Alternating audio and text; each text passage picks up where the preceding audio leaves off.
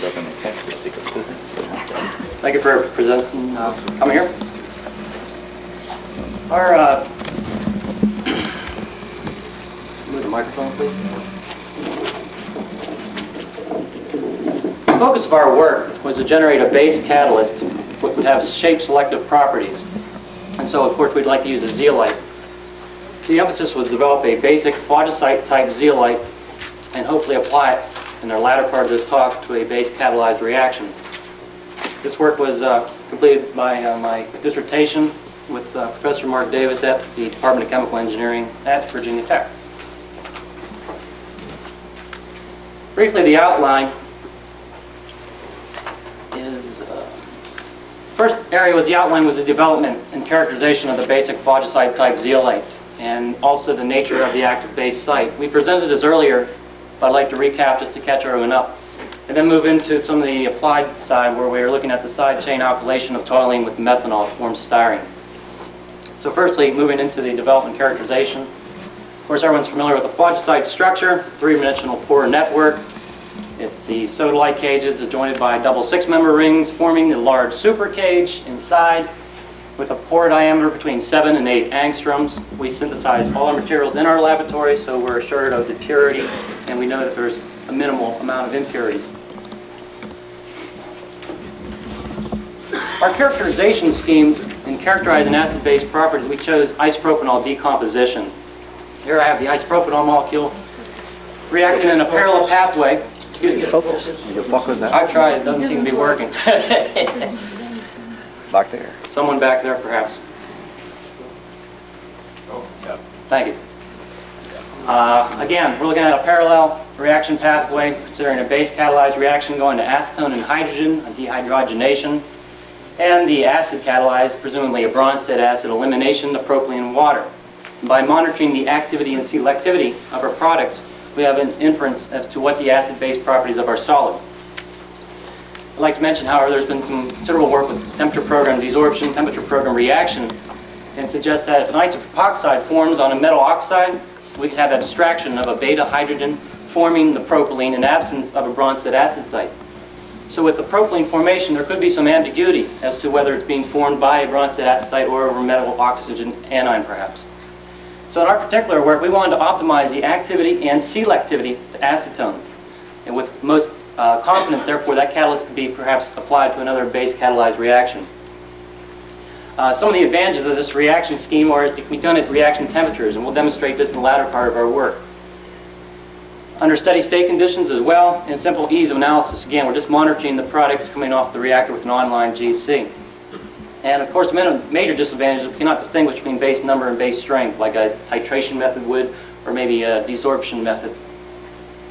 As far as our catalyst variables we considered on the earlier part of this work was firstly the silicon to aluminum ratio. That is the X-type faujasite versus the more siliceous Y-type. We also considered the exchange cation, the group 1A alkali metals, that is the sodium through cesium. Once we optimize the silicon-aluminum ratio with the cation, again optimizing acetone selectivity and activity, we then looked into the absence and presence of the occluded exchange salt. That is, we're taking the parent sodium form to the respective alkali form via an alkali hydroxide, acetate, nitrate, chloride solutions, typically a 0.1 normal. Our results suggested the following, that the best catalyst as far as acetone activity and selectivity was in fact the Y-type, not the X-type. Our particular material had a 2.34 ratio. Uh, preferred cation was a cesium. As far as going from the sodium Y to the respective cesium Y, we had a cesium hydroxide, acetate, nitrate. Were pretty much similar as far as acetone activity and selectivity. We found very poor results with the chloride exchange, most likely due to residual chloride ions, perhaps. One of the most important steps, and what we consider to be novel in this work and pretty much focused on, was an impregnation of the cesium Y zeolite with on average of two acetate molecules per unit cell. And the impregnation was achieved by simply mixing the Y zeolite in an aqueous solution of cesium acetate and then evaporating off the bulk water, simply a rotovap uh, preparation. Uh, the material, let me just say how we pre-treated the material. Typically we impregnate it, we would then charge it into the reactor, we would take it up, say 500 degrees, up to 600 degrees. We did calcination studies in oxygen atmosphere as well as helium. And then we'd lower down the reaction environment. We'd then uh, pass isopropanol helium mixture over and uh, get our respective selectivity and rates. To demonstrate this, I've chosen three catalysts, specifically here zeolites. These are a rate comparison at 350 degrees. We're looking at intrinsic rates measured at differential conversions, again steady state rates as well. An important point is that these rates are based on a molar unit cell basis to account for differences in the density of the materials. Uh, let's focus on the first two materials first. We have a cesium X and a cesium Y, both prepared with two acetate molecules on average per unit cell. The first thing we see is that the Y material outperforms the X material considerably by about four to five times. Also, if we look at the selectivity of the Y material, we see that we're here is around 97% selective to acetone. The X material is only around 60. One thing we had to convince ourselves of, there is an influence of the silicon to aluminum ratio, is that with the cesium X material, thermodynamically more difficult to ion exchange. Therefore, for this, we see there's, 12, there's 26 sodium cations here in the unit cell. Some of them are inaccessible to exchange because of their location in the sodalite cages. However, there's still approximately 12 to 14 sodium cations still available for exchange.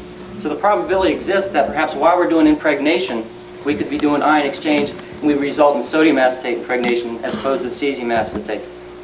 So what we prepared was a partially exchanged Y. We have a considerable number of sodium ions still available for exchange. Due to the impregnation, we still see the promotional effect. I might add, had we not impregnated the Y materials, the activity would be down this level, comparable to the X material. So again, the majority of the activity we're seeing is from the impregnation technique and the decomposition of the acetate itself. Take cesium acetate and then put on silica gel, just to see what was the influence of the uh, support again. Here we're looking at a comparable weight load at 2.4 weight percent on the cesium Y and silica gel. On a gram basis, you can see we see uh, just trace acetone activity in propylene from the silica gel. Again, nice influence of the zeolites working for us because now we can do shape selectivity as well, hopefully. How active are these materials was our question we wanted to address, comparing to magnesium oxide, commercial base catalyst. Again, rate comparison at 350 degrees, intrinsic, differential conversions. Uh, on a surface area basis, the impregnated Y performs quite comparably to the magnesium oxide, both activity and selectivity, to acetone. On a volume basis, you can see that we're about four times more active than magnesium oxide. So it appears that we have a nice activity as well. We have nice selectivity. We're using a zeolite. Everything seems to be nice. Uh, the question we want to address now is potential for shape selectivity. Now this is a large pore zeolite. The potential may not be high, say, as a small pore zeolite, but again, we'd like to eventually apply the technology to a smaller pore zeolite. Let's look at the uh, location of the decomposition product. We want to do shape selectivity. It would be essential that the decomposition products are inside the zeolite and not on the extracrystalline surface. So what we looked at was just simple uh, surface to bulk analysis of cesium Y. Let's address our attention to the top. If we could focus maybe again, please.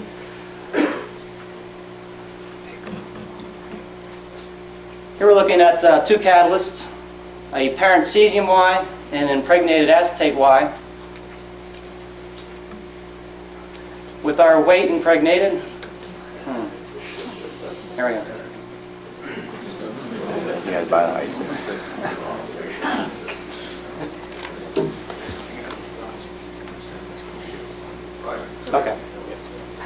We have our uh, respective weight impregnation. Of course, we have none for the, uh, the cesium Y. We have around 1.95 weight impregnated cesium. We then calcine these materials in a helium atmosphere at 450 and then submit them for chemical analysis. We're looking at the cesium to silicon ratio. Here's the chem bulk chemical analysis, our XPS data, where we're looking at, say, the first 50 angstroms of the surface of the crystal. We then ratio these analysis and we get an, an assessment as to the, how well dispersed the cesium is. And you see for the cesium parent form, we're near unity, which we might expect, suggesting that the cations are well dispersed in the crystal. Interestingly, for our impregnated material, we're at unity again, suggesting evidence that the products are not on the outside surface, but well dispersed. To support this evidence, we look at some work by Shannon et al., who looked at rhodium exchanged onto a Y zeolite and a sodium form A zeolite. Rhodium here being in a plus 3 oxidation state will form a large radius of hydration during ion exchange in the aqueous solution. You can see for the Y, at a 2.3 weight percent loading, it appears that we do in fact have ion exchange when we compare the rhodium to silicon ratio for the analyses, suggesting the rhodium has passed into the zeolite and has ion exchanged. Interesting with the sodium A, small polar zeolite, you see at 1.25 weight percent rhodium, our analysis, theirs for that matter, is near 60. This evidence coupled with ours, again, suggests that the acetate decomposition products, even at a 1.95 weight loading, are intercrystalline. We now have potential to do shape selectivity. the question we want to address is what is the decomposition product? We're taking cesium acetate, we're uh, supporting on a Y zeolite, thermally decomposing it, again, oxygen or helium environment. Some of the possible candidates we considered were an esoteric cesium cluster, uh, zero valence or ionic, probably unlikely, but there was some work earlier by Woods et al. Who observed cesium metal in the vapor phase over carbonates at 600 degrees C. Uh, Garces. Uh, surmised that perhaps cesium X, which could absorb CO2 from the air, could form carbonate species on the surface, and then perhaps you could see cesium metal in the vapor phase over the X material, and in fact reported it between 300 and 350 degrees C. Lastly, there was some work recently by Martens et al. looking at isomerization of 1-butene over a sodium metal cluster in sodium Y. Had very nice activity. He suggested there was a promotional effect of the sodium metal into the lattice oxygen, producing a promotional effect of the activity. So with these three pieces of work, there was a possibility that perhaps cesium metal could be formed, uh, lie on the surface, and perhaps promote the acetone formation. Uh, ESR spectroscopy, however, suggested not. We saw no signal of cesium metal.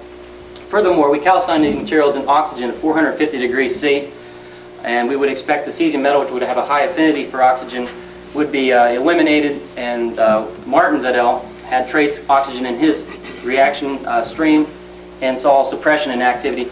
We, in fact, saw a slight promotion as a result of calcining in an oxygen atmosphere.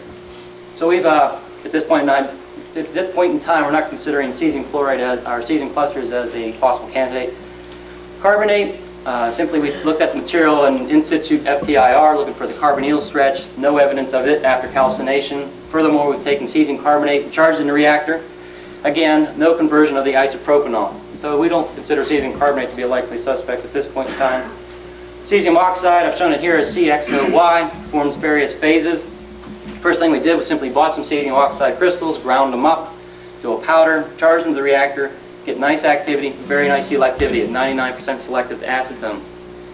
Furthermore, again, I mentioned we calcine these materials in an oxygen atmosphere. At 450 degrees, a very high oxidizing atmosphere, and we see a slight promotion in activity relative to helium. And we might expect the acetate to decompose to an oxide, ox, uh, an oxide at those kind of conditions. So at this point in time, we'd like to suggest that we have an intercrystalline cesium oxide as our active site. So just to uh, surmise thus far on the catalyst on the earlier work, on, uh, it appears that for the cesium acetate impregnated cesium Y zeolite, we have a highly active intercrystalline base site generated from the decomposition of the cesium acetate. The cesium acetate Y possesses a high surface area, around 500 meters squared per gram, an exceptional activity and selectivity relative to magnesium oxide, and we also, from the XPS data, we have potential for shape selectivity. Again, not so much for the faujasite, large pore zeolite, perhaps applying this technology to the smaller pore zeolites. As far as the nature of the acetate decomposition product, it appears to be a cesium oxide.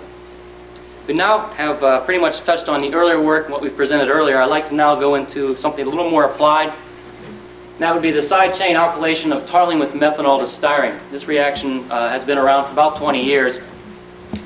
It's uh, folds. We're looking at this. One, it's considered to be a base-driven reaction, and two, it's an industrially significant product. That is the styrene. The desired reactions proposed is one, the dehydrogenation of methanol to formaldehyde and hydrogen. Then there was an abstraction of the proton from the methyl group to form a carbanion, which is reacted with the formaldehyde to form the styrene in an aldol elimination type reaction. I guess what a lot of volume. Okay, can everyone hear? Okay. Uh, some of the undesired reactions are the uh, oxidation of formaldehyde to CO and hydrogen. Of course, we're eliminating our proposed reactant. Furthermore, the ring alkylation to form the xylenes, perhaps over most likely an acid site. And the hydrogenation of styrene to ethylbenzene. Again, we're trying to make styrene. Some of the previous work, just to recap, get an idea of where everyone stands on this. Uh, as far as activity, the X, cesium X usually outperforms the Y as far as activity and selectivity to styrene. Interestingly, metal oxides behave very poorly, and we'll show this uh, with some of our own data. Some of the further improvements on the X material are the impregnation of an alkali salt, boric acid, copper nitrate, combinations of the above. Again, we're trying to optimize selectivity uh, styrene and also trying to promote stability of formaldehyde. And some of these methods have worked well. Problem we're having, though, is it does not compete at this point in time with commercially uh, used reaction. That is the alkylation of benzene with ethane and subsequently the dehydrogenation of styrene.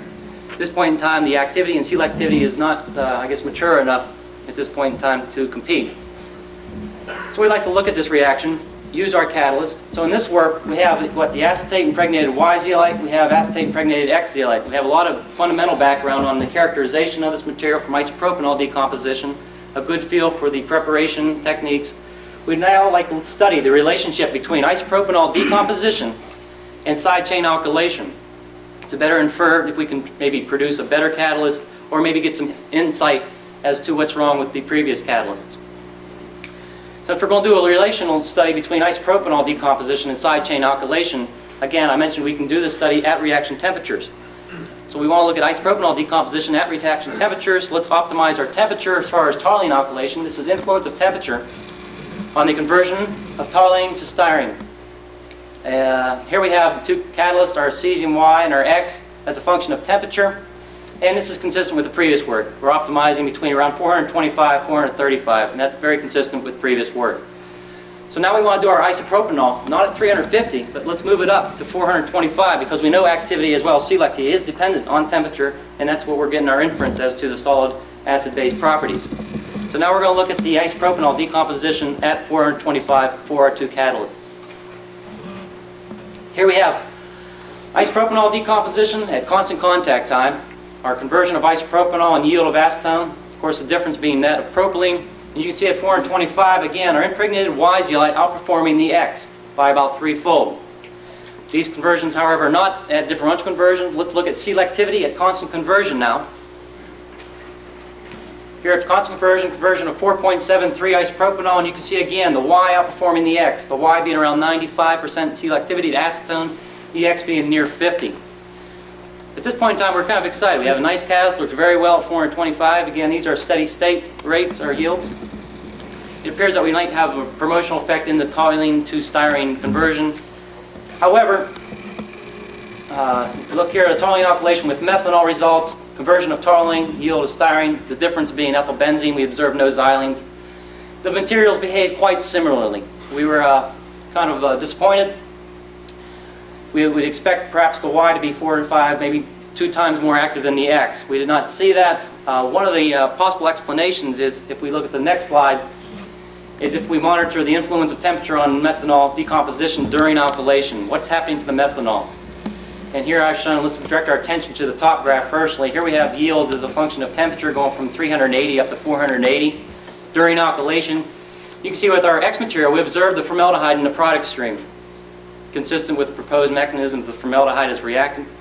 However, for the Y material, there's no formaldehyde in the product stream.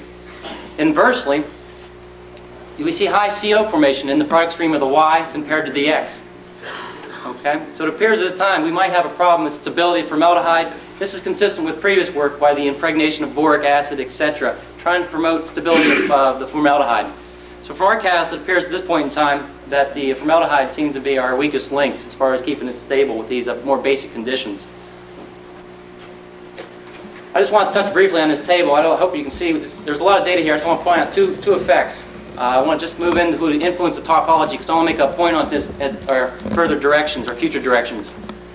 Here we're looking at side chain alkylation of toluene at 300 or 425 for two catalysts, the cesium Y and a magnesium oxide, compared on a surface area basis and you can see, with consistent with earlier results, the toluene conversion to styrene is around 2.7, magnesium oxide, zero. We saw, however, magnesium oxide behaves quite similarly in isopropanol decomposition to our prepared material, both at 350 degrees and at 425. Interestingly, they have similar uh, methanol decomposition products during alkylation. Here's our formaldehyde, both trace material, trace uh, presence in both for both materials. Also, we see high CO production. So there does appear to be an influence of topology, and again, I'd like to address this in our future studies. Overall conclusions. As far as the isopropanol decomposition work, uh, the decomposition of cesium acetate impregnated Y appears to result in the generation of a highly active intercrystalline base site. and this base site does not appear to form on a similar paired cesium X material. Furthermore, the high activity and selectivity for the Y impregnated Y material at 350 are maintained at 425. Furthermore, the decomposition product of cesium acetate scored on the Y appears to be an intercrystalline cesium oxide. As far as uh, the toluene alkylation work, it appears that an increase in base character promotes alkylation, but at the apparent expense of formaldehyde stability. Although the cesium Y magnesium oxide has similar isopropanol decomposition behavior as well as methanol decomposition products, toluene is not alkylated by MgO, suggesting a topological influence. This sort of moves us into our future directions in this work. As far as the characterization, we'd like to look at the influence of the silicon aluminum ratio. We saw that with the cesium X compared to the cesium Y. We did not get this promotional effect. We'd also like to couple this with cesium-133 MAS NMR. There was a recent paper two months ago by Chu et al. who looked at cesium uh, in different environments and could detect it by NMR. That is cesium chloride, nitrate, hydroxide, uh, formate. So what we'd like to do is perhaps couple synthesizing faujasites of various silicon to aluminum ratio, look at the isopropanol behavior with the impregnated material, and then couple that with cesium-133 NMR to give us insight as to the silicon-aluminum ratio and also give us more evidence to the decomposition product, that is the suggested cesium oxide. As far as alkylation, we saw the influence of topology, at least between magnesium oxide and the faujasite type. So it'd be interesting to us to perhaps apply this impregnation technique. Of course, we'd know more information on the silicon-aluminum ratio, and apply that to the zeolite uh, influence on alkylation and try to promote the effect perhaps that way. Just to touch on some of our, our work that's available and soon to be available, hopefully.